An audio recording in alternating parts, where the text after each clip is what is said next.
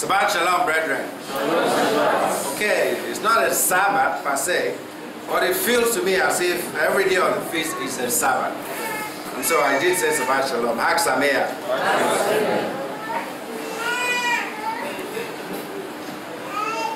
Mountains.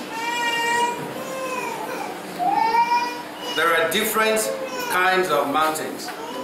Different kinds. And there are various things that are often referred to as mountains as well. For those of you who probably were able to look at the pictures we showed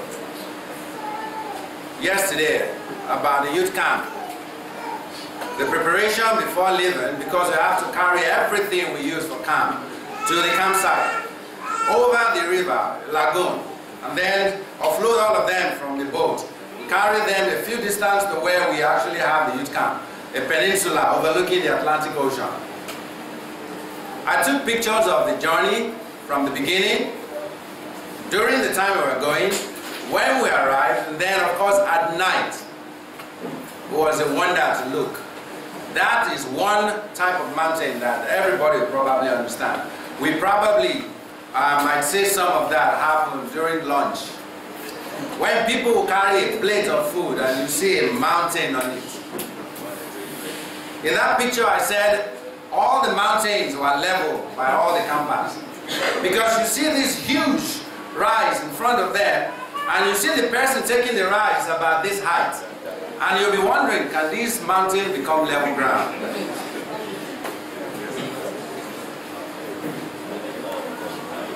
I also love mountaineering. I love climbing.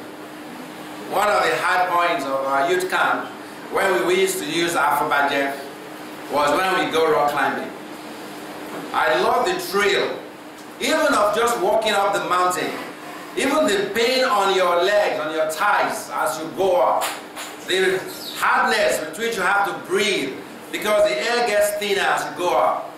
To me, it's like it's exhilarating. That's when I'm really alive.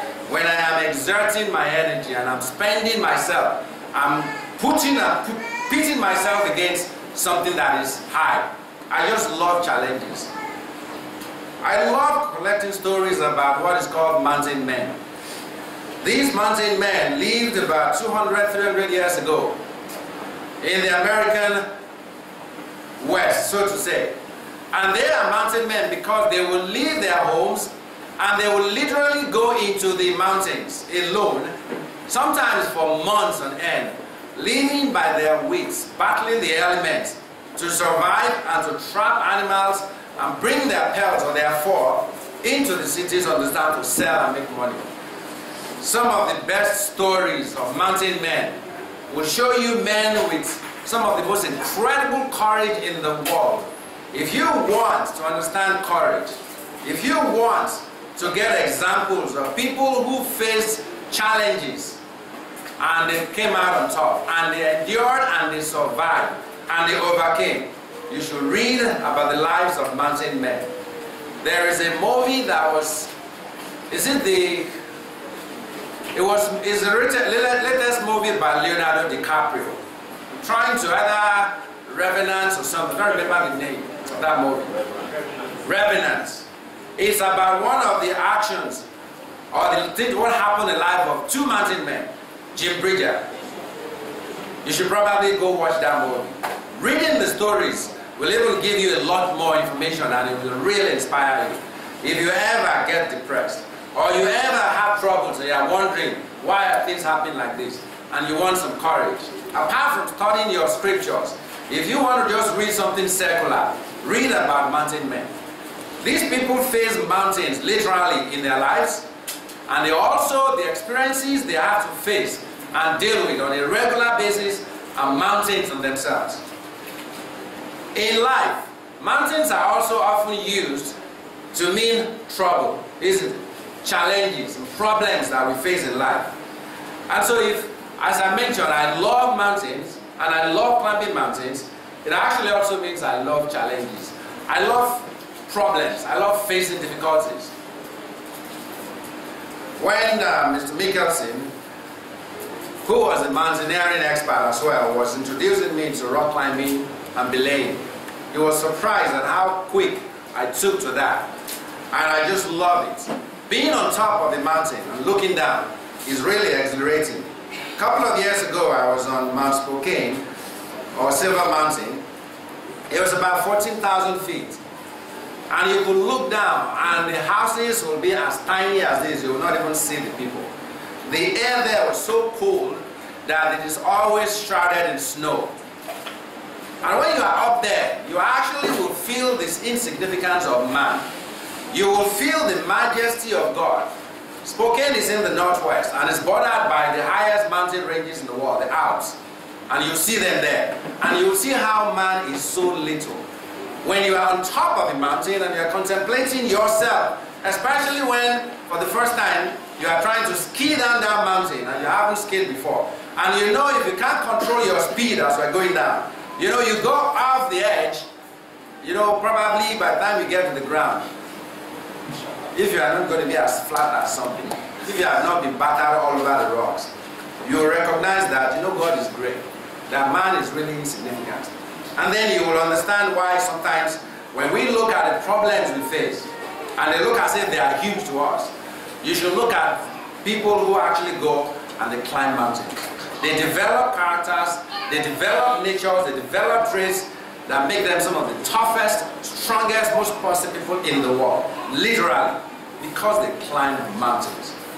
Now, if that is the case with human beings who deliberately go out climbing mountains, climbing hills, just to pit themselves against nature, things that are huge and insurmountable almost, with hardship and difficulties along the way, it is no wonder that people like that is how God also decided to train us. People like that develop strong levels of faith. They have strong trust, faith. They are some of the most loyal, some of the most pure people in terms of people be willing to lay down their life for their fellow men, mountain men. And even if you find some of them among them who are atheists, there are very few mountain men who do not really believe in God. Because they are right there in nature, facing difficult obstacles, and they learn to see that man is nothing. That our problems are really nothing. And that facing challenges improves us. You know, this is what the scripture also says, repeatedly, over and over. Mountains are not easy to climb. They're not easy to climb. They're hard. One time we used to go for what we call Challenger programs. We do it every year. We didn't do last year. We used Jos a number of times. And we used, um, last one we did two years ago, we went to Ogun. They walked from the foot of the mountain to the top of the mountain took us nine hours. If you drive, probably it would take maybe 30 minutes or thereabout. But it took us nine hours to get there. When we started, when we were at the bottom, I was looking, I had gone a couple of days ahead with someone else, with GMC, and we had spent four days moving around, looking at locations. And so when I knew what we were facing, what was coming, but the 15 people with me, they were just excited. Wow, we're a challenger. They all had their kits on, they had their backpack. In the morning, when we were at the food at the one kilometer, it's just about 11 kilometers old. But 11 kilometers, not flat ground, up. It's almost like going 60 kilometers on the flat ground. And all of them in the morning, they were and they, and they were just jumping. I was watching them. They were jumping up. Ah, they were excited, wanted to go. Hmm. When we took pictures on the floor before we left, everybody was smiling, everybody was, wow, this is interesting, they are ready. And they were all walking with their two feet, very strong. We did not even cover the third kilometer. Before everybody became almost like old men and old women. They were all walking like this. And then when we stop to take a rest, there are very few who will really be smiling. Most of them, are. By the time we were into the second day, and we were now trudging around on the over the ranges, you look at the pictures, a lot of them have become old men and women, literally with third legs. They had walking sticks that they were all walking with like this. But I bet if you talk to those who went, the, the courage, the camaraderie, this inner strength they never thought they had, and the opportunity to pit themselves against a tough situation and the experiences of actually going all those distances and coming out on top must have meant something, impacted them greatly. The same way when the scripture says, through many tribulation we shall enter the kingdom of God. All that suffering and trials and tribulation produces endurance. And endurance character, character hope. I have titled my sermon here, Faith that Moves Mountains. Faith that moves mountains. Because mountains are synonymous with problems and challenges and difficulties, all of us need to have a clear understanding of what we require to face and overcome and climb the mountains that will come across our way in life. This is much more important, especially right now. I was reading a message that was sent on a political forum by a friend of mine, Professor, one of my professor friends, Professor Kiemi, and he said that a couple of experts met and they were deliberating on the Nigerian economy. And their projections was that things will not get easy in 2017. And people should prepare for tough times. Someone also said that on the, I think it was also said on the UCG forum as well, that things will get tougher in 2017. We should expect that the dollar will continue to peak until will peak at about 450, even up to 2018.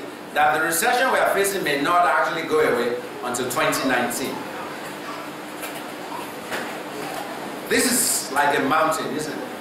It's like a challenge, a big issue, a big problem. How do we face mountains like this and actually conquer them? Sometimes when you're at the bottom of a hill or a mountain and you're looking up, you will often wonder if you can climb it. Mountaineers start out knowing they have to get to the top of that mountain and be willing to give it all it takes to get to the top of that mountain. In the scriptures, God also refers to mountains as problems too. Mountains are also used in scriptures to represent kingdoms and nations. Let me look at the first scripture that where at least the Bible talks about mountains in the form of a problem, a challenge, or something difficult to overcome. Zechariah chapter 4 verse 7. This is a very famous scripture. And this is a word that was sent to the remnants that came from Babylon and were to rebuild Jerusalem. Zechariah 4 7 says, Who are you, O great mountain? God's not talking here of a physical mountain. He's talking of the great challenge of leading the people of God back to God and rebuilding the temple of God and rebuilding their lives and resettling Jerusalem after over 70 years of being in ruins. It's, a, it's like a huge obstacle, a huge job. And it's like a mountain before Zerubbabel, Ezra, and Nehemiah, who are the core leaders guiding the children of Israel in this period. And God said, Who are you, great mountain? He said, Before Zerubbabel, you shall become a plain, you shall become level ground, and you shall bring forth the capstone with shouts of grace, grace to it. So I want to say today to us that whatever the problem we have, whatever the challenges that will come in front of us, we need to at least understand that these mountains can become level ground. These mountains can be moved and we can rise over them and we will be better for it at the end of it because that's exactly what God wants. That's exactly what God wants. But for us to be able to conquer mountains, to be able to move mountains, to develop the character traits, which is the most paramount as far as God is concerned, that is what God wants. He wants character. He wants us to develop attitudes and nature that improves us from the inside. Men and women of character, of true beauty from within. And the way God has chosen to develop that character in us is by allowing us to face mountains and allowing us to go through challenges. And just as he said to Zerubbabel here, that uh, the mountains will become level ground or plains, God also is telling us and wants us to understand that every mountain in our life, every mountain in your lives, in my life, will become level ground. But how? How is what I want to talk about today. As I said, faith that moves mountains. We need a faith in us that can move mountains. And that faith doesn't take much to build. It actually takes doing something to build. We cannot have that faith by sitting and complaining or by sitting and waiting. Honestly, we need to actually be doing something to have that faith. What is the key thing we need to do? The theme of this feast, guided by God's word. Simple statements, simple solution. How do we develop and have a faith that will move mountains? The answer is plain. Romans chapter 10, verse 17. Normally, I will end my sermon here because that's, so that's the answer. How to develop a faith that moves. But if I end my sermon here and go away, you people probably spank me and tell me, get back there. Time is not. and I don't want that. Romans 10 17. So then, faith comes by what? By hearing. And hearing by the word of God. So the answer to have a faith that moves mountains, what do we need? We need to hear God's word. We need to hear God's word. We can hear it as we fellowship together and we are taught to by those God is using to inspire us. Or we can hear God's word also as we study the Bible on our own. And not just studying it, but what we read, what we study, we allow it to frankly impact our lives. We don't listen to them and read them and just say, you know what? Those ones are stories, you know? That can happen in those times. You know that one that Elijah. Okay, you know that one that Moses. You know that one that Deacon. You know that one is that person. Even the scripture says Elijah was a like man, a man just like us. We need to have it do something. To have this kind of faith, not just to hear, we need to not just be hearers of the word, we have to be doers of the word. We need to learn to study God's word. Colossians 3.16 says, Let the word of God dwell in you in all its richness as you teach and admonish one another. We cannot overemphasize this concept of being guided by God's word. We have been called. We have given up a lot to be different. We could have been in a convention of Winners Chapel, whatever it is, whenever it is they are having it. We could be at the redemption camp. The one that is, wherever it is close to you, there's one close to Lagos. Anytime they're having their period. We could be attending the night of bliss when they're having it and you have two million strong people there. We could be meeting every Sunday with a larger group of people rather than just maybe 60 people, 20 people, or 40 people in the congregation. We could be in a program where if we're having a national convention like this, it will be almost a place that is about 10 times the size we're using. But we are here. God has called us to be here. There are certain things we will have to give up. And continue to give up periodically. For us to continue to say this is where we are. This is who we are. This is the place where God has called us to be. And if that is the case, then we need to have what God says will allow us to level every mountain that comes in our lives. Frankly, we all need to be mountain lovers. We need to be mountain lovers.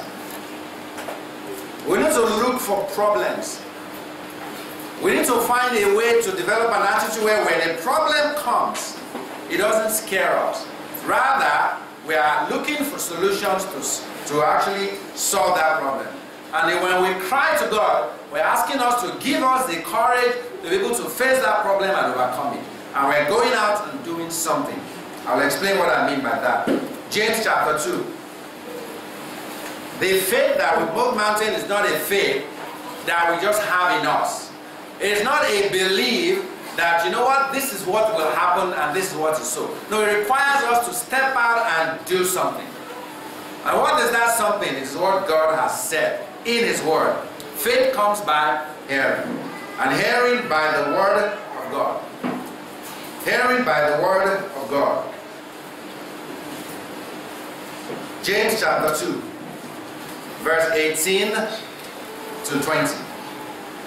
But someone will say, You have faith, and I have works. Okay, you believe that what you need to do is just go and do this, alright? You believe you have to go and be doing something.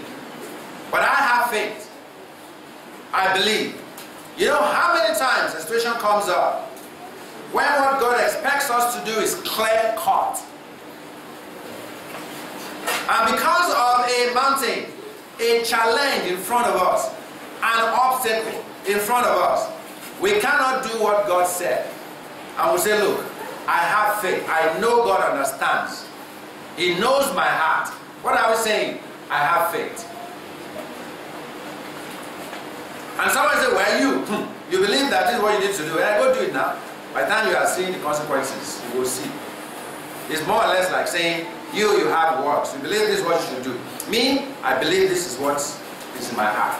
And I know God understands. James said, show me your faith without your works. If you say you have faith, you believe in God, and yet we're not willing to step out and do what God asks us to do, simply because there is a mountain in front of us, then we do not have the kind of faith that is living faith. The faith that can move mountains, we don't have it. He said, I will show you my faith by my works. If I have a cup of water here, and this is just an allegory, just an analogy, obviously. I wouldn't ask you to test your faith that way. and then I ask someone to bring a tube. And that tube, clearly on it, you can see rat. And then it's written rat poison. Now you may not even know that I just manufactured that tube from the factory and inside it I have put mayonnaise. You may not know it's mayonnaise inside. But the tube or just a tube that is a mayonnaise tube. And then I get a wrapper of a rat poison tube and I gum it to the body and it really looks like rat poison. Then I bring water or bread here.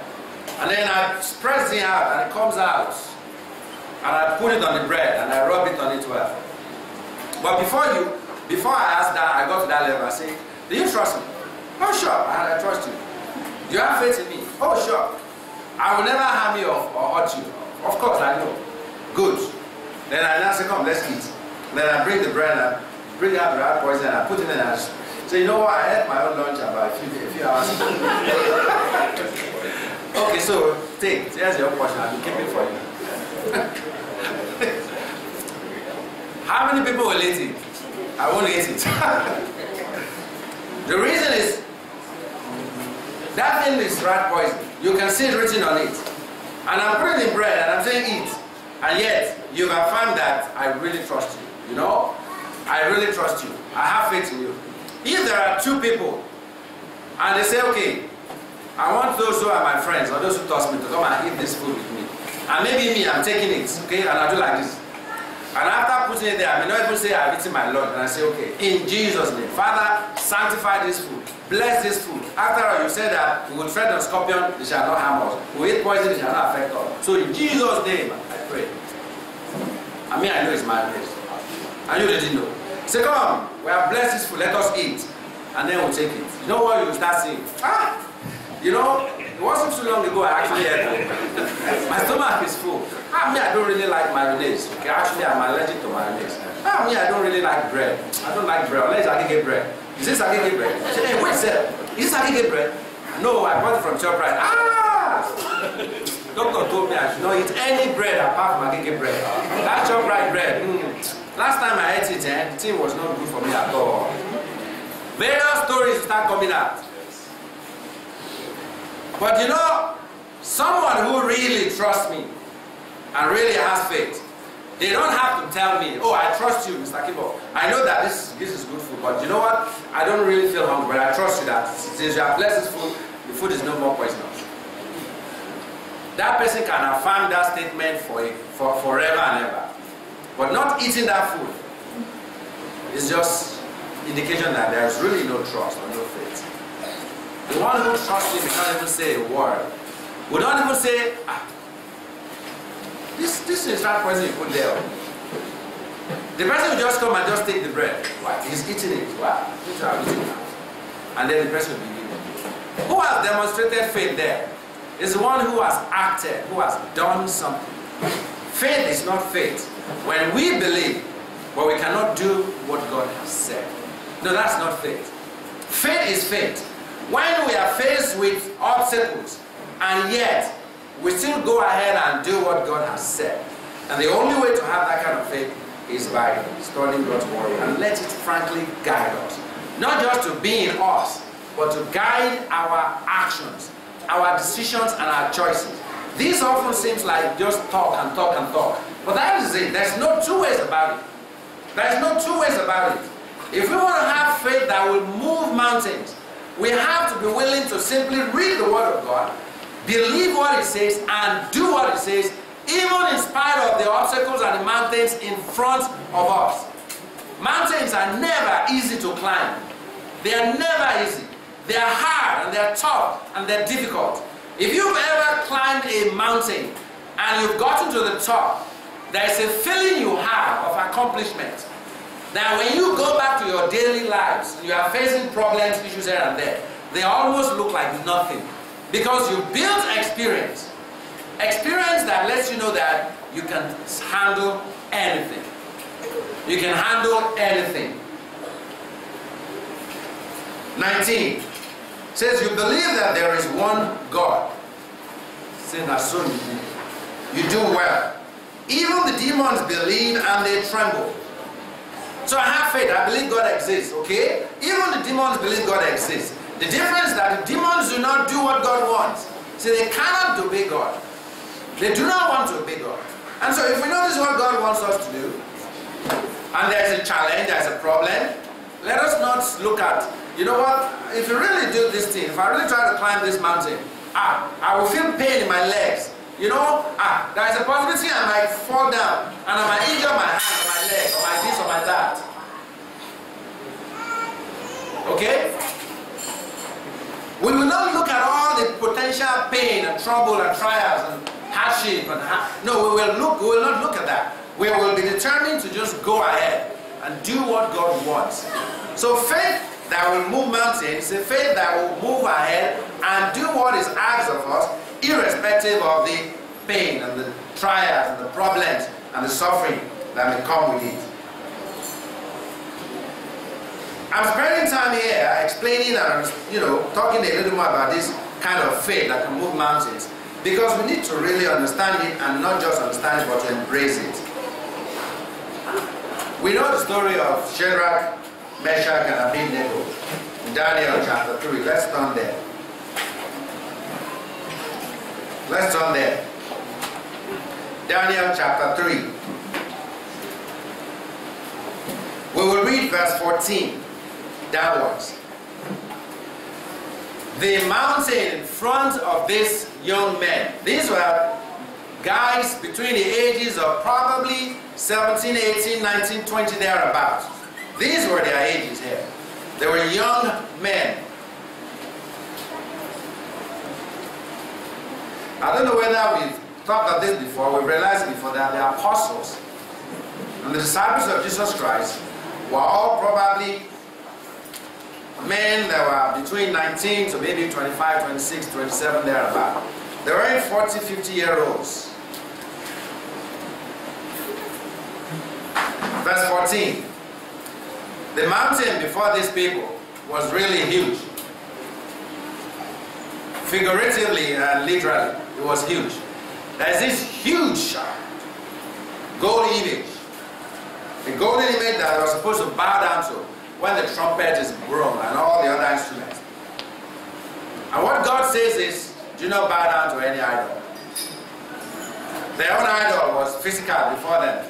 Our own, our own idols could be different. Be our job. It could be getting married. It could be getting a car. It could be getting a house. It could be our parents. It could be our brothers. It could be our sisters. It could be whatever it is. It could be making a good income. It could be a contract.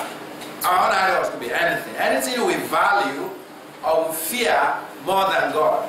Anything we will rather do because of the consequences it will bring to us if we do the painful consequences rather than actually obey God and, and, you know, and do what God wants. Those things are idols. And so they have a huge mountain. The second mountain they have figuratively here is that if they do not bow down to that physical, mountainous, huge golden image, they will be killed, thrown into a lake of fire, I mean a burning furnace. I used to feel, ah, death's not a big deal. I mean, just, you, everybody die one day. Who first died? But deep down my psyche, that's the kind of death I often would pray, God, you know what, if I want to die in any kind of death, all right, no problem. But the one I really am not sure I really want to face is the one where you're born, you're burning. The your is burning your body. Drowning, uh, you know, somebody comes the head, uh, dying of sickness, whatever, whatever. But burning, I have to think about it. You say, ah, that one's going to be really tough. Oh. Nebuchadnezzar spoke, saying to them, Is it true? Like the king is, is shaking. I know the um, this Babylonians then, according to their images and pictures you see on the various ancient something, they used to have this long beard. I to go like this. And it's possibly the guy is talking and he's shaking and his beard is just moving like this. It's like when you are doing Tai Chi and you do like this. And then the guy is shaking. Say, is it true, Shadrach, Meshach, and Abednego, that you do not serve my gods and worship the golden image that I have set up? Now, if you are ready at the time you hear the sound of the horn, the flute, the harp, the lyre, and the psaltery, in symphony with all kinds of music, and you fall down and worship the image which I have made, then good. Okay?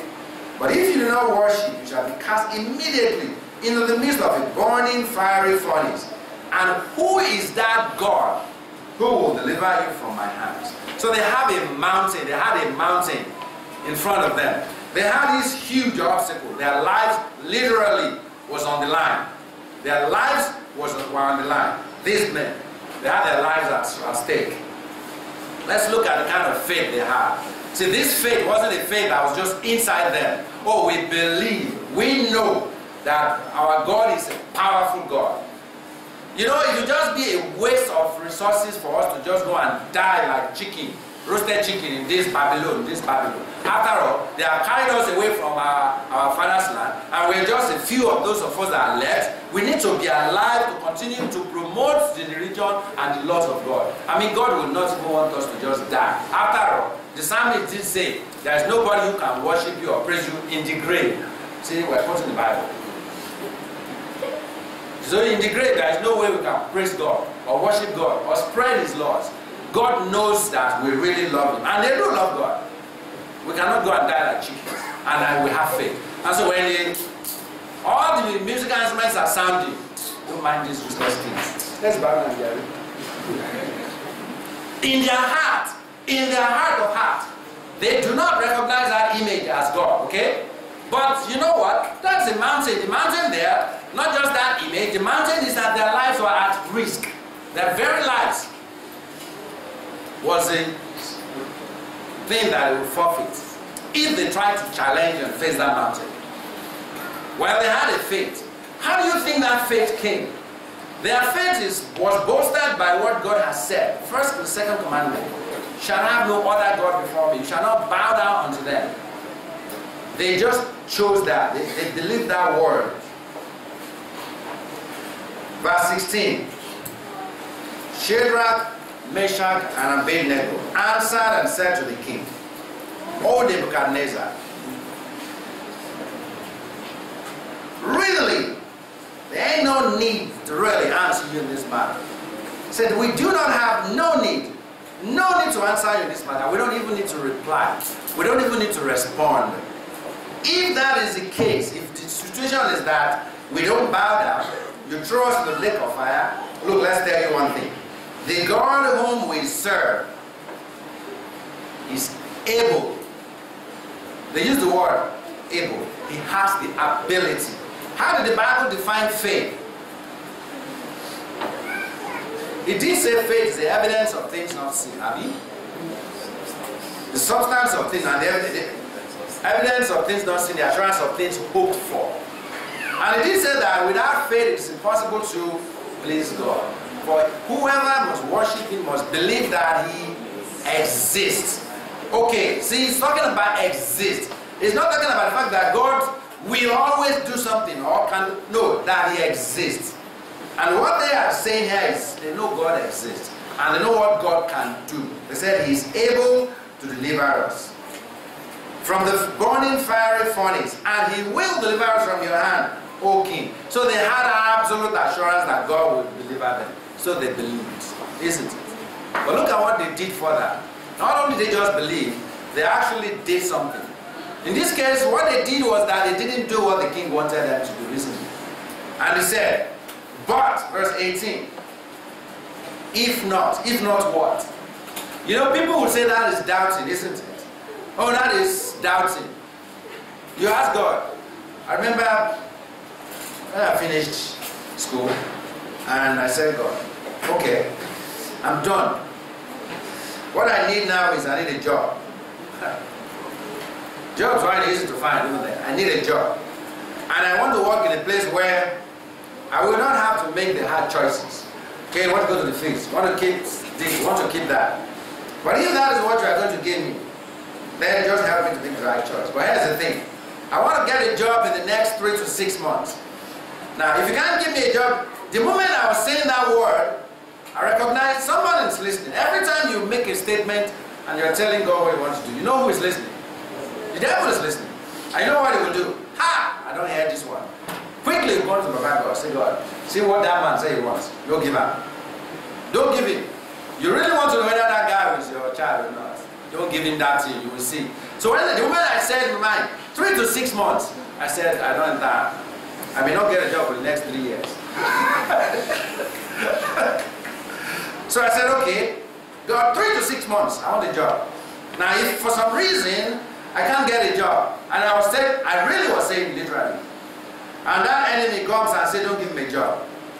I need one thing else. I'm going to go out to various hospitals, diagnostic centers. After all, I am, I am a biochemist. And I'm going to go talk to the doctors and the lab people. Tell them, look, I'm a biochemist. I'm still in between jobs, okay? If you will allow me to bring blood samples for tests, to do it is your diagnostic center.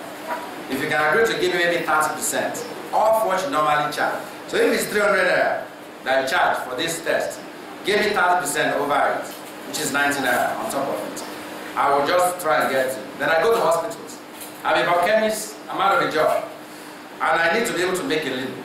So if patients come to the hospital, I need to do blood sample. Just state their names, or I will be checking what are days when you have those kind of things. I will come, and I will be the one to collect their blood sample. I will bring their marine bottles, and I will take it to the lab. Rather than you just having them go to the lab to do the test, I will be like your consultant, in-house, freelance lab, medical lab person. And I'll take the blood samples, and I'll take it to the laboratory, and I'll bring it. And if normally you are the one who have somebody in there who normally will take the blood sample and take it for test, but you go for the test, they come tomorrow for the result because they are taking it somewhere. Is there are very few results unless it involves culture that require you to come the next day. Or some that require a couple of days. Most cases, something they will do, and a couple of minutes or an hour, they will get the result. When they come the next day or two days for result, because they are carrying all those things, they are taking it somewhere to do, so that they can get, they will have their own.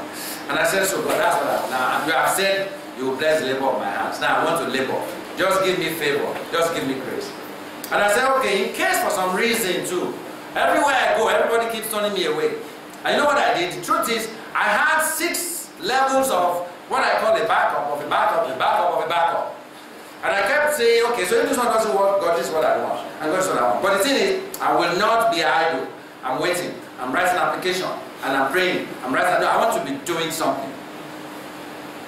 Then the, one of the options I said was, I'm going to go to, I will walk into a company. I'll say, I want to see the MD. And they will say, ah, do you have an appointment? I'll say, yes. From where? Ah, from last week. Incidentally, when I say last somehow, everywhere they hear Glaxo. Everywhere they hear Glaxo. And I say from week. And all of them hear Glaxo. Every place they hear Glaxo. And then they take me to meet the MD of the company. I said, so, sorry, you said you are from Glaxo. Oh, sorry, I said actually week. You said you have an appointment. Yes, sir. When I left them this morning, I said I must meet with the MD of this company. and I will tell God, just, just give me grace. Just give me favor. Okay? I'm not telling you to drop something from heaven. Just give me something. Honestly, I learned a lot about dealing with difficulties and coping with tough situations. Again, it's mostly from reading books, mostly also from reading the Bible. The point is, what you know, what you put in your head, and that you really believe in, and you are willing to act on, is what will change who we are from within. So to have a faith that would move mountains, God's word had to really be in us. Not only be in us, we have to hold on to it and be willing to act on them. And then our faith will move mountains. And incidentally, we don't need big faith to move mountains. You know, sometimes we think we want big faith. Ah, that man's a, is a man of faith. We need a tiny faith to move mountains. You know that's that's true, right? We're reading. We just need a tiny faith to move mountains. A tiny faith. This young man said, even if the king, even if the king throws them in the lake of fire, and God chose not to deliver them, he said they will still not bow down to the idol. See, they faced that mountain and they won that mountain because they had faith in God. And that faith came from the word of God. That they held, not only held it, understood it, they believed it, not only believed they were willing to actually do something about that word. Turn to the book of Matthew.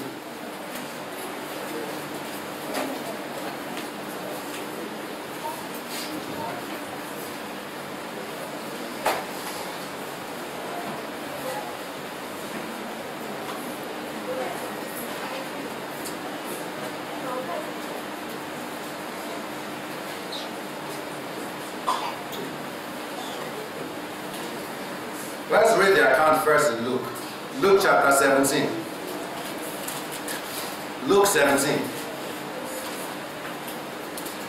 Let's read what it says in verse 6. Luke 17.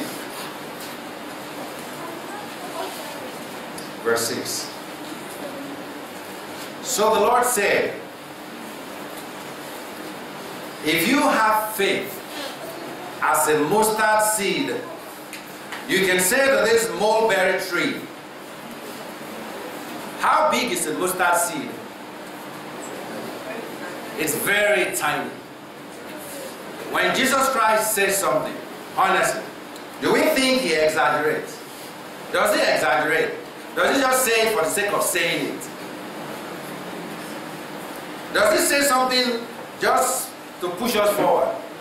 Ah, let's just say it so that I can push them forward. No, he means what he says. And he says what it means. So if you have faith as a mustard seed, it means if our faith is even very tiny.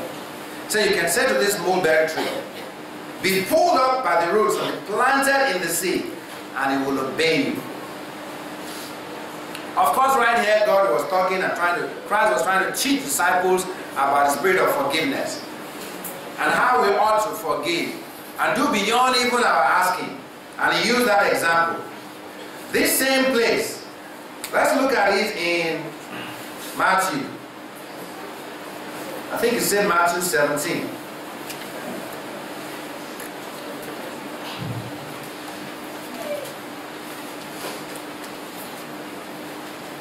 St. Matthew 17.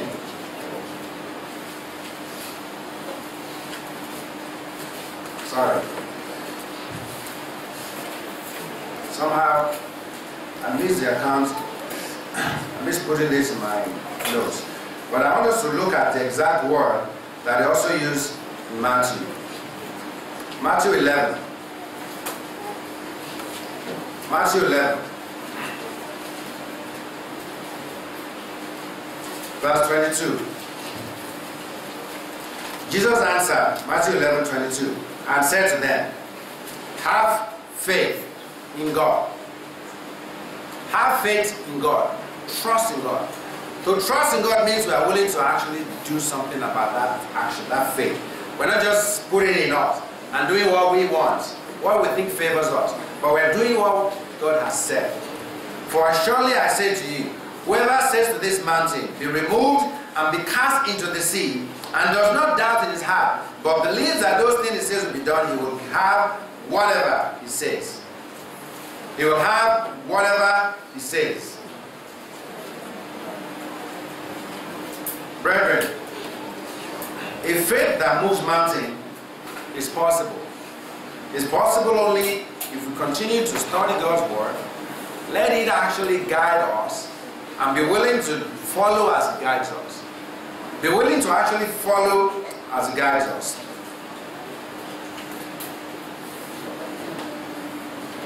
The beginning steps, of course, starts from our mind. It starts from our mind. And I want to conclude by quickly listing three reasons or three ways by which our faith can move mountains. The reasons why having a faith that is active, having a faith that we can act on, and having an attitude of embracing whatever problems comes our way and using God's word as our guide in overcoming those mountains is important. The first one, faith doesn't always change the outer circumstances. Faith doesn't always change it. I want us to understand that. Faith does not always change the circumstances or the situation that we are in. But the kind of faith we're talking about the faith that comes from being fully immersed and absorbed in the Word of God. That kind of faith can change our outlook. See, it changes us from inside. And what we see is totally different. In Revenant, Jim Bridger was actually attacked by a bear. It was mauled, big time. He did kill the bear. And he came to the group he was supposed to be leading. Long and short, they actually shot him because the figure is too weak, he may not survive, and they buried him under the earth. If you've read the accounts of mountain men, they are hard to kill. Not because they have two lungs, I mean four lungs, they have, they have two lungs. They don't have two hearts, they don't have two livers. It's still the same organ composition that other human beings have. But their will, their strength, and their determination to survive is so strong. You know what the scripture says about that? A merry heart doeth good like medicine. Doctors and nurses will tell you that a happy patient or the happiest patient, the patient with the sunniest disposition, a positive patient often recovers from illness compared to a patient who is, oh, what is happening? Or a patient who is always complaining and complaining and has a grumpy attitude. Mountain men are some of the most positive people in the world. And that inspires, even when they are unconscious or in a coma, they often fight through coma and they survive. And Jim Bridger survived. He came out and was being hunted by Indians. And he actually was determined to actually get to where he wanted to go. Of course, he was fueled by desire to revenge because they killed his son as well. He saw them kill his son, who was trying to defend him. And he just said, I will survive. And he survived. You should look at look, look for that movie and see how he really went through obstacles and he survived. He survived. That was a strong determination to never give up. His outlook, what he is thinking, what he is viewing, was changed by his mind. A faith that can move mountains, a faith that trusts and believes in God's word and is willing to absorb it and let it be a part of us, will change what we see totally. Our view changes. Totally it changes. There's a man called Mike May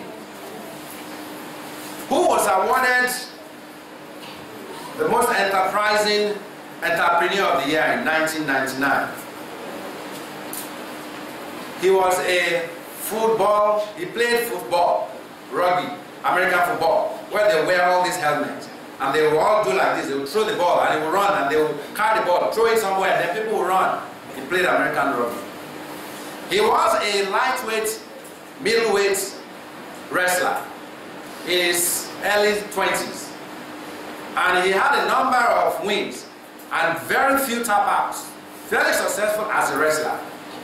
He was also an inventor. He invented the first GPS navigation equipment for the blind, where a blind person will have that GPS pack on a backpack, and it gets signals from various satellites, who pings and shows a map, and the guy can indicate where he wants to go, and the pinging of those satellites, which comes and pings, will direct him where to go, and he can find anywhere he wants to go in various countries that is actually well mapped He was also a co-inventor of the first laser turntable in the world.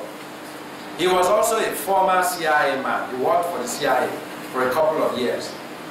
He was also a traveler and an adventurer. He loved surfing, no surfing.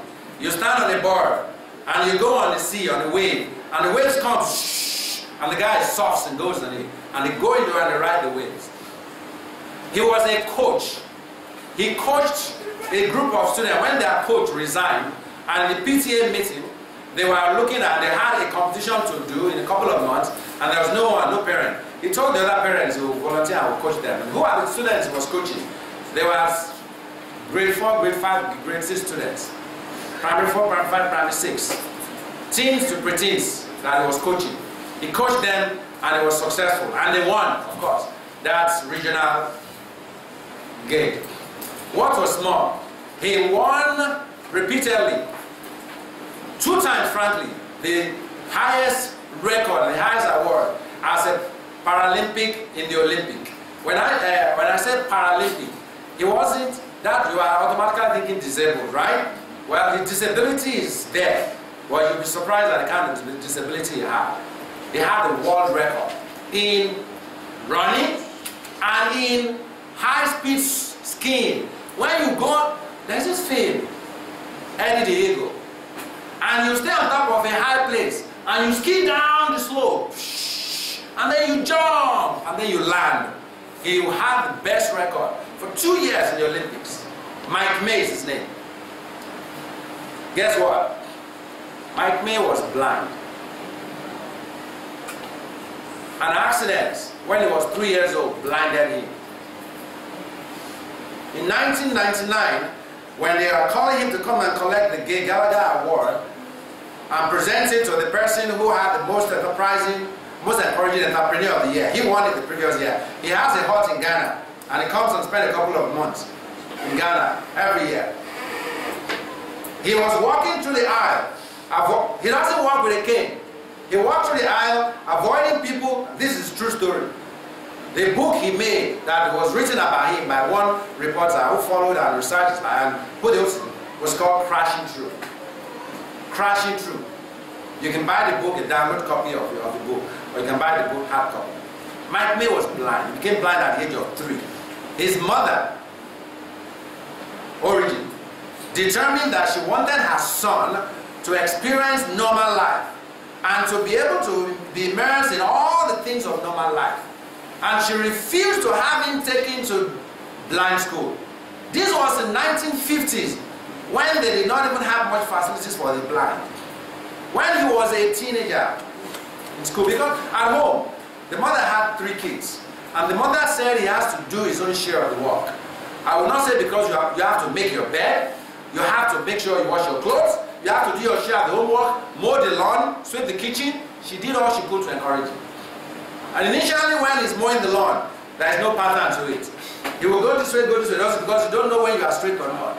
But because the mother will tell him, okay, you are moving to the left, okay, you should step to the right, somehow he developed the ability to focus direction. You know he played football when he was young. Initially, the neighbors, the neighborhood kids and his kids in school, they didn't know how this guy cool. This guy was blind. And he played baseball. Baseball. You throw a ball, somebody hits you with a bat, and you run from first base, second base, third base before the person catches it and throw it. He played it. The title of his book, Crashing Through, came because in his adult life, he learned how to ride a bicycle. And he ride a bicycle. The first day he told his mother when he was a teenager, I want to ride a bicycle, bicycle to school. Mother was scared. This guy is blind. And he wants to ride a bicycle to school. Say, okay, but do you know where the intersections are? Say, I will listen. Well, how do you know how to go on the side? Mommy, I'm okay, I'll, I'll listen. The mother didn't stop. Just told him to be careful. And with her heart literally in her mouth, she hugged the son, gave him his backpack, and told him, ride safely. And you know what? She, he came home, he said she was praying and hoping not to have to. He rode safely. Once he was able to do that, he took his friend's bicycle, uh, motorcycle and wanted to ride to the next town. They were over speeding. He had a, another blind friend on his back. And they oversped that a patrol vehicle pulled them over. And the guy came, let me see your driver's license. And they didn't have, of course. And then, of course, they were wearing dark glasses. Please remove your dark glasses. And remove the dark glasses. The patrolman was shot. These guys were blind. How could he ride and have another blind guy on his back?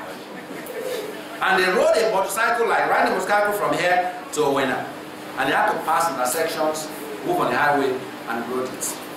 Mike May developed a kind of echolocation that it can actually get the echoes and vibration that come from objects.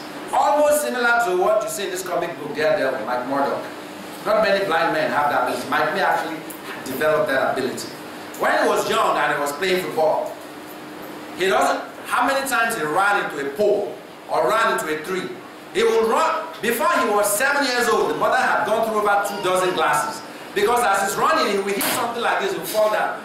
Reminds me of one of our children of one of our members who play ping pong with each other. and he will crash into something, his nose is bloodied and his face is wounded, the glass is broken. And he will pick himself up and just laugh about it. And then the mother, because he was, he was he doesn't worry about where he's going to hit, he will run. And he doesn't care, he doesn't even run and do like this. He's running forward and he hits something, pow, down, boom. His face is bloody and everything. Sometimes we spend a couple of days in hospital, he gets up. The mother kept telling him, just learn how to run and be able to know where you're going. He developed that ability. That guy, and it was his mother who kept on encouraging him. And by the time he was seven, he had a determination that he wasn't going to give up. No, he wasn't going to give up then. He wants to experience life to the full.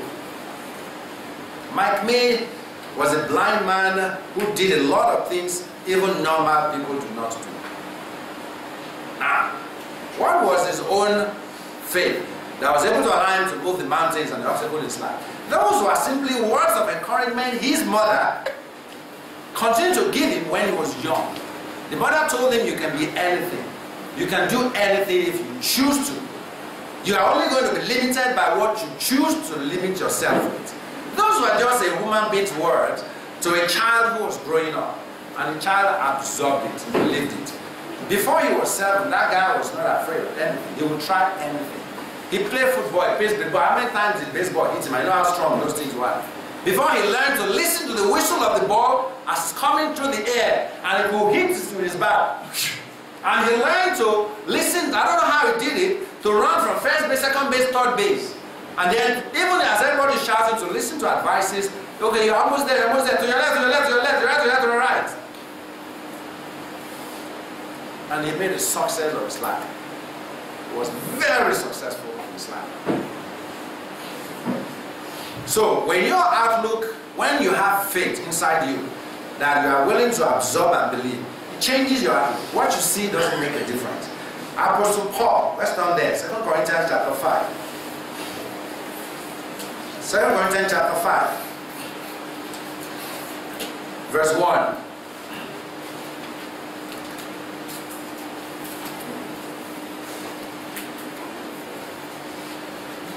For we know that if our earthly house, this tent, is destroyed, we have a building from God, a house not made with hands, eternal in the heavens. This was imminent. Apostle Paul's death was imminent here. They were going to kill him very soon. His head was actually cut off. This is one of God's greatest apostles, okay? One of God's greatest apostles. And he was actually killed by his head being cut off. As this period was approaching, because Paul had faith that could move mountains, his outlook, what he could see, his view of the obstacles facing him was different. He wasn't scared, he wasn't worried, he wasn't afraid of the death was facing. Look at what he said here.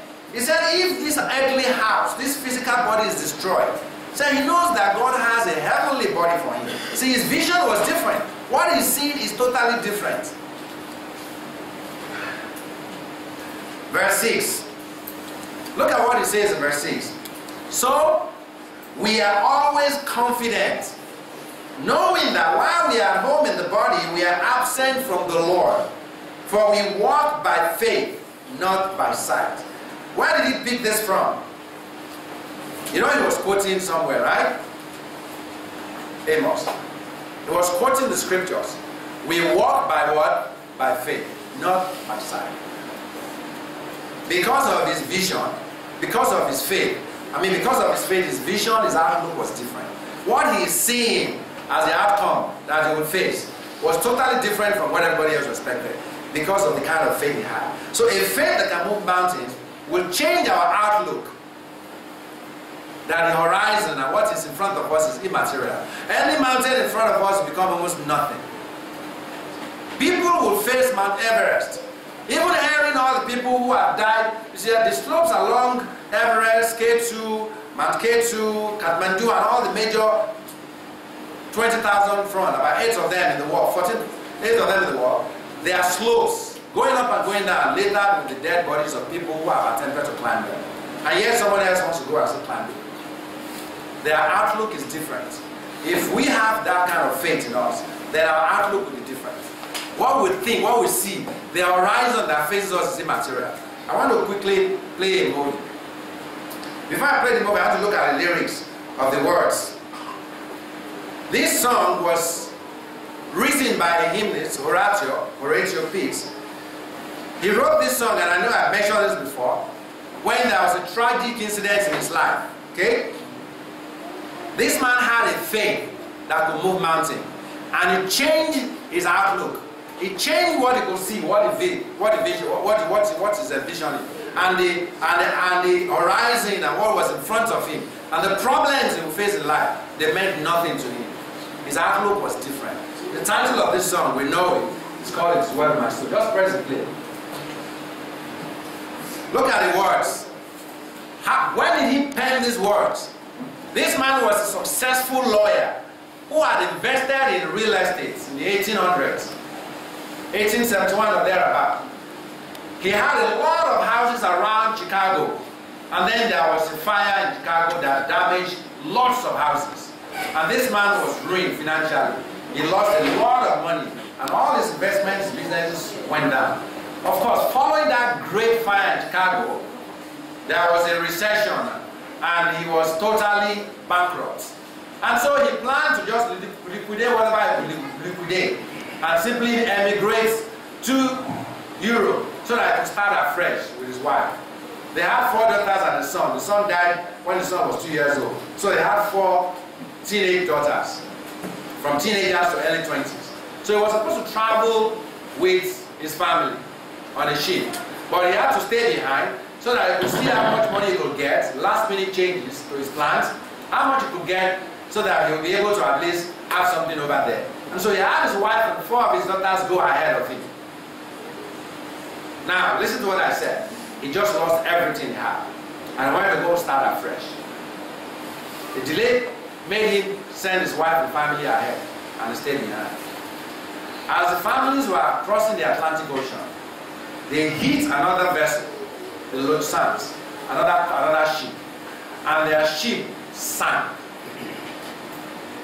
And all his four daughters died. Only the wife survived. The wife sent a message, saved, alone, and continued on. So when he concluded his business, he was on a ship to go and meet his wife, who was grieving for the loss of their four daughters. As he was passing the area where his family died, that was when he wrote this song. Look at the words he penned. This man had faith already that was able to move mountains. The mountain of his loss, of what was going to face in life. Having lost five children in a lifetime were huge. Because mountains represent trouble, problems, trials, death, whatever it is we face. And look at what he wrote. This song we're familiar with. Say, when peace like a river attended my way, when, when they come my way, when sorrows like seas billows roll, like have like you know waves rolling over me. He said, whatever my lot, God, you have taught me to know that it is well and it is well with my soul. Next slide. And he will say, it is well, it is well my soul. We all know this one. Next slide. Says, even though Satan should buffet, buffet is like you are pouring it on, just coming here and there. Somebody slap you here, slap you here, slap you here, slap you everywhere. All the troubles are coming from various angles. He said, even though trials should come, so let this blessed assurance control. That is, let me just be assured of this fact that Christ has looked at my helpless way, or my helpless condition, my helpless estate. It's an old English. My helpless condition, or the state in which I am, where I can do nothing. And he has shed his own blood for my soul. And then, of course, the, the lyrics, it is well with my soul. My sin, oh, the bliss of this glorious God. My sin, not in part, but the whole, is nailed to the cross, and I bear it no more. Praise the Lord, praise the Lord, oh my soul. Can you imagine somebody who's lost his, his children? He's not passing, oh God, ah, ah, what did God do this to me? Oh, ah, ah, ah, my, my own is beating, and he's just crying and he's just rending his heart. And you know what? He has the right to be sad. But he has a faith that he believes in. Really, it's not just head knowledge, it's in his heart. And it changes outlook. The disaster, the problems, the issues you have, their outlook is different. Like Paul, Paul said, you know what, if I die right now, I know God's going to give me a new body. When Job was going through his troubles too, he never abused God. He never said, God give it, God take it. Blessed be the name of God. And what was his consolation? He said, I know that when my Redeemer cometh, he shall call, and I will stand, and when his feet stand on the earth, and I will, I will answer.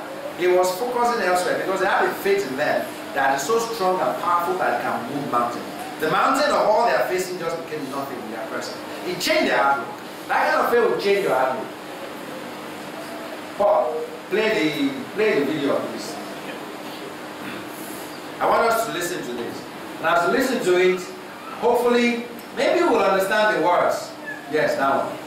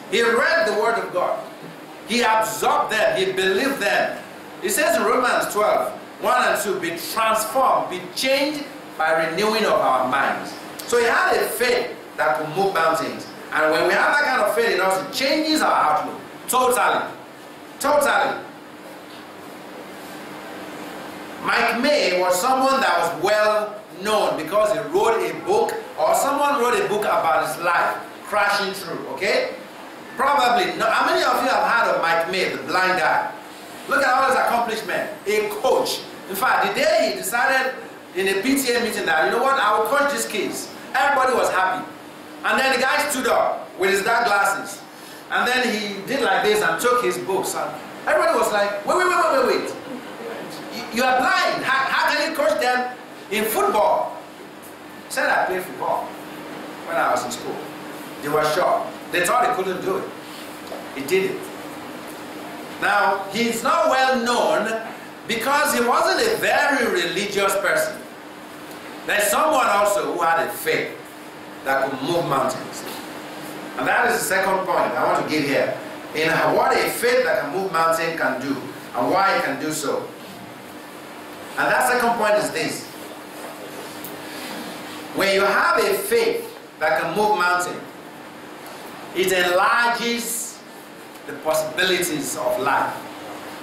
It enlarges the possibilities of life. Wow, the possibilities are just expanded. They just enlarged. There are just so many options. You can't, you can't just believe in yourself. There are just so many options. Let's turn to Mark chapter 10, verse 20. See, the reason why the possibilities are expanded is because God is now in the picture. See? A faith that moves mountains introduces God into the equation. And if I remember here, my mathematics. If you have an equation, we have two mathematics experts here. If you have an equation and you change a part of the equation, one variable in the equation, will the answer, the outcome still be the same? No, it changes the outcome totally. The moment you introduce God into the equation, your outcome is different. And incidentally, it's not just one outcome, the possibilities are just endless. It changes the equation totally. Mark chapter 10, verse 27 to 30. Jesus looked at them and said, and this is because the disciples were telling Christ. Okay, let me just quickly, Mark chapter 10.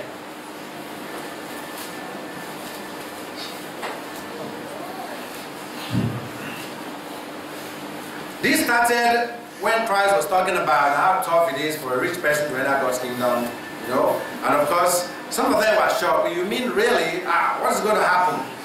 Verse 27. Jesus looked at them and said, With men, it is impossible.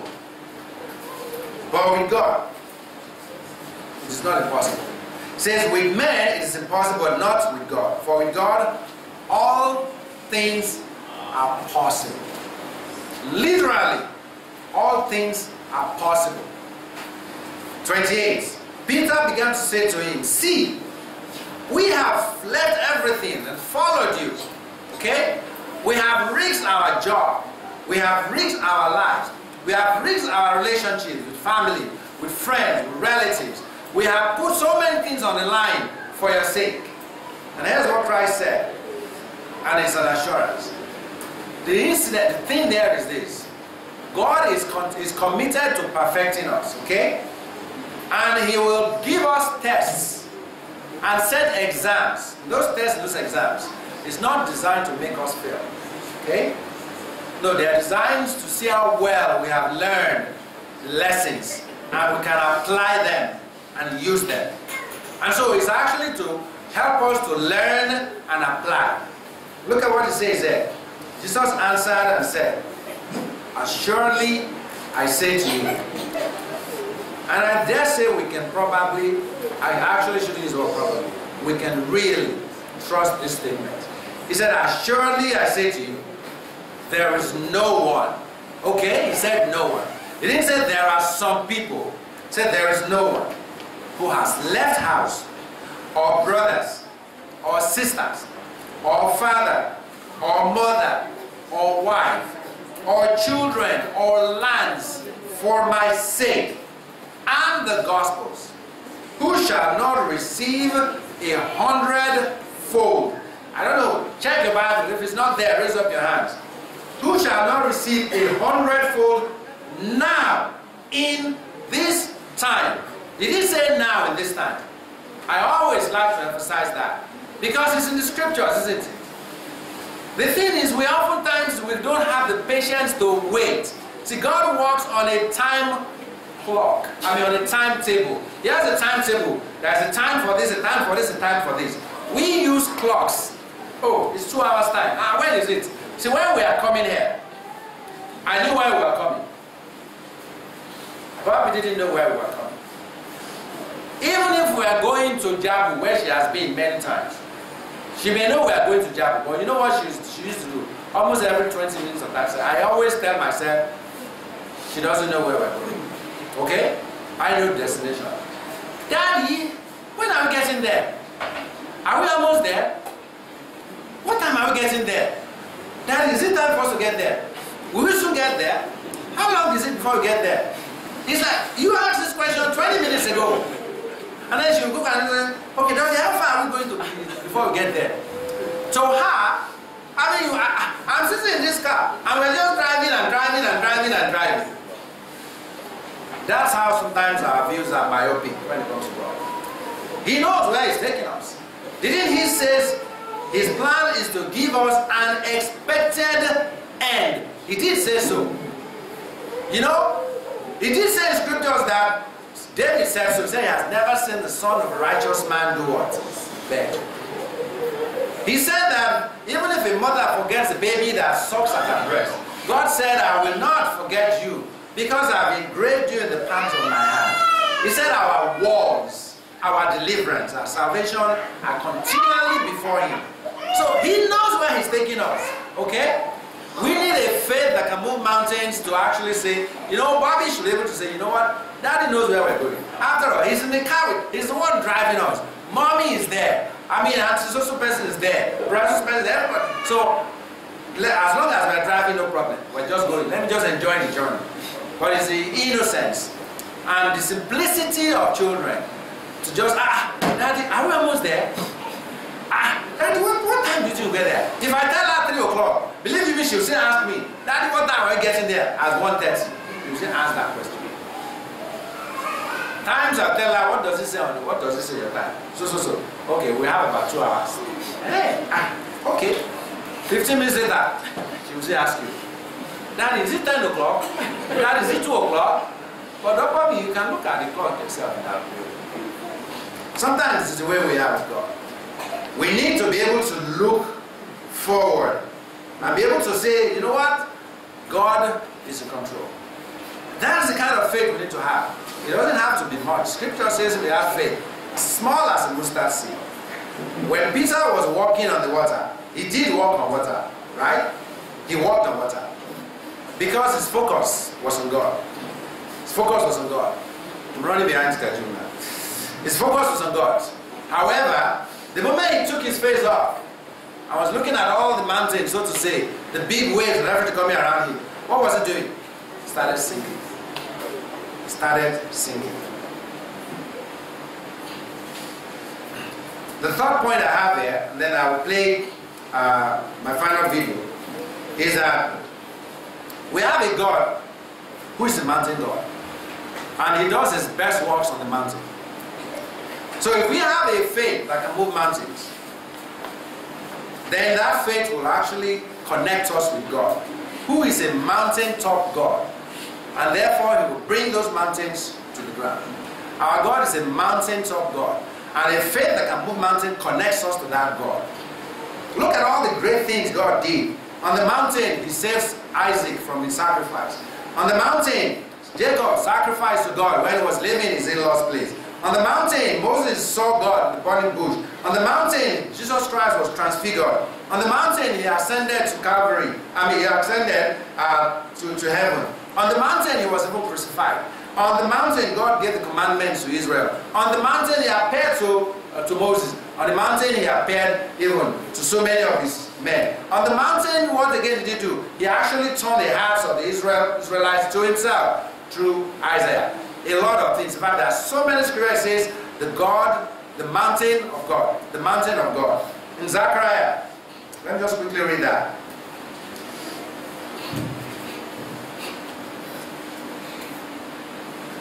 Zechariah chapter 4, verse 6 to 7. He says, no, not Zechariah chapter 6, I already read that.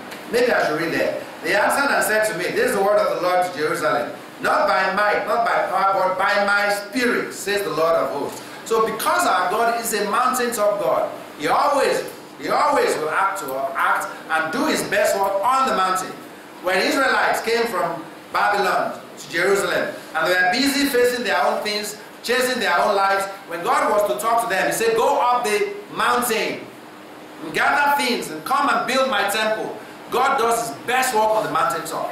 It is at a time when we are at the peak of our troubles and we can still look to God that God will come and act.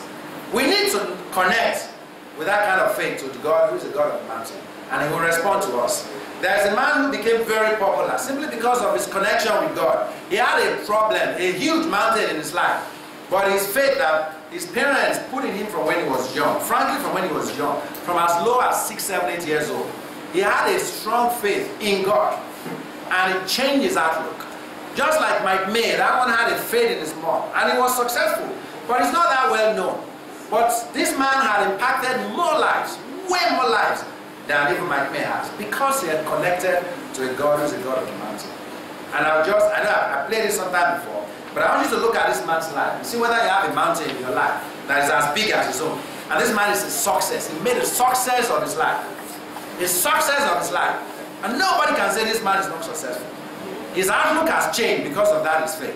His vision has changed. And honestly, he's connected to the God of the mountain. And his faith is able to move the mountain in his life. Shabbat Shalom. Let's just watch.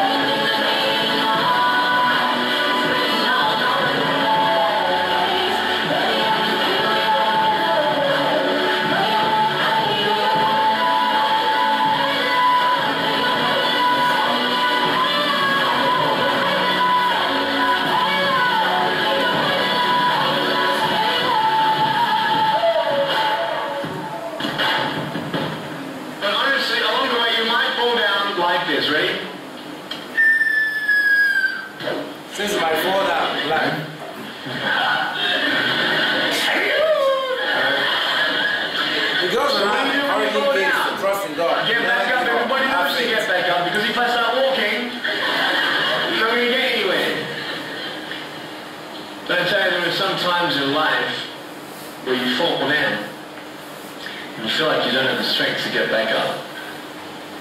Do you think you have hope? Because I tell you, I'm down here, face down, and I have no arms, no legs. It should be impossible for me to get back up, but it's not. You see, I will try 100 times to get up, and if I fail 100 times, if I fail and I give up, do you think that I'm ever going to get up? No. But if I fail, I try again, and again, and again. But I just want you to know that it's not the end. It matters how you're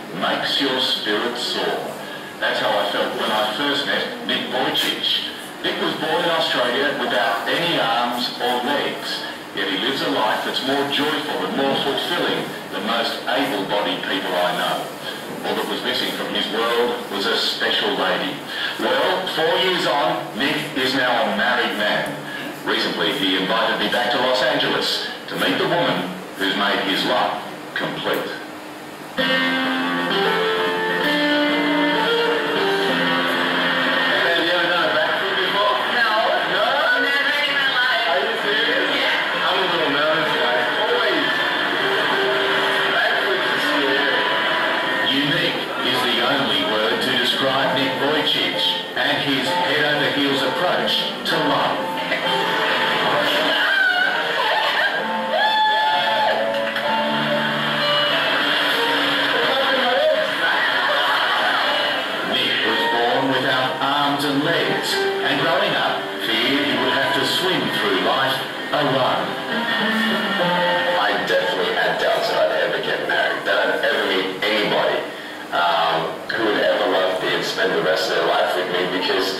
Prince Charming with a couple bits and pieces missing. yeah, those, those, those things were important, you know, and I'd see everybody else has them, so why could I ever compete with all the other guys and ever, you know, find my princess? Now at 29, Nick's not only found his princess, he's married her, and her name is Kanae. I feel like you feel. To me, it wasn't any different. Falling in love with Nick. I fell him the way he is now. And so, because I had dated other guys and I had gone for the physical and, you know, but I was tired of that. And the moment I met Nick, I was looking for other things. And all those things, I found them in him. So that's when I felt like, wow, you know, he he's not only boyfriend material, but he's like, he could be my husband. Well, you understand the issue felt, right? No, not exactly. We actually have gotten a lot of interesting reactions from just people while we were dating and, you know, holding hands and walking side by side. Some even people come up and go, oh, How you hold hands? yeah, right here. He says, we're holding hands right here. And she had a hand out, I'm going to jump on the back of my wheelchair. Well, what sort of reactions would you get? For people come up and cry and say, now I believe in true love again. When I first met Nick in 2008, he was very much a single man, with his signature generosity of spirit and good humour. No arms, no legs. No worries, mate. Then two years ago, he and Kanae crossed paths, and it was, without a hint of exaggeration, love at first sight.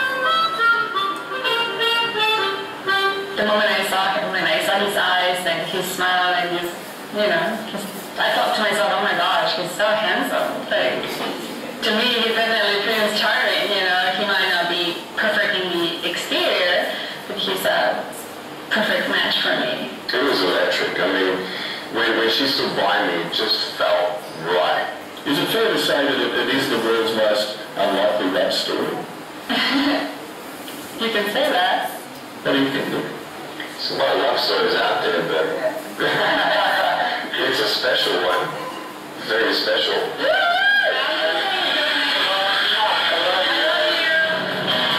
The fact is, just about everything Nick does is special.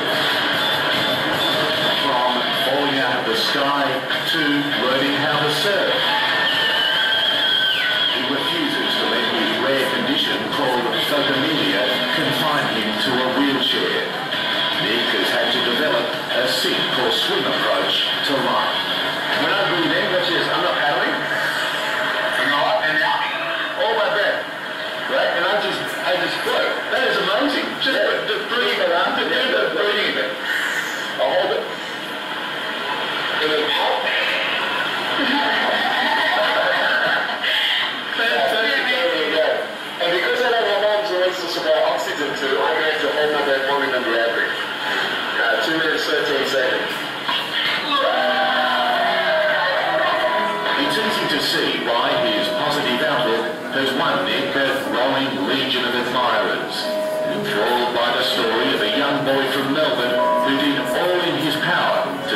disadvantage into advantage.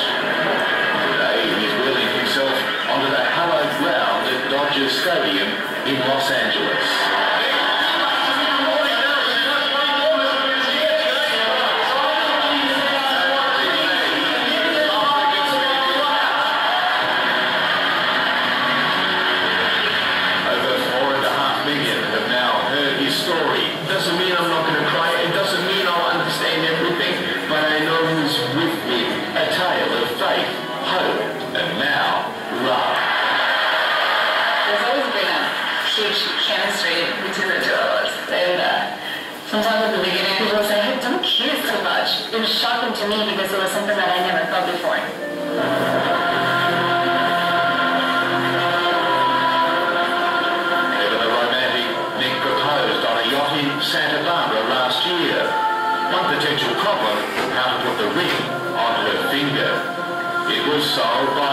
ingenuity he used his mouth. Well, baby, can I kiss your hand?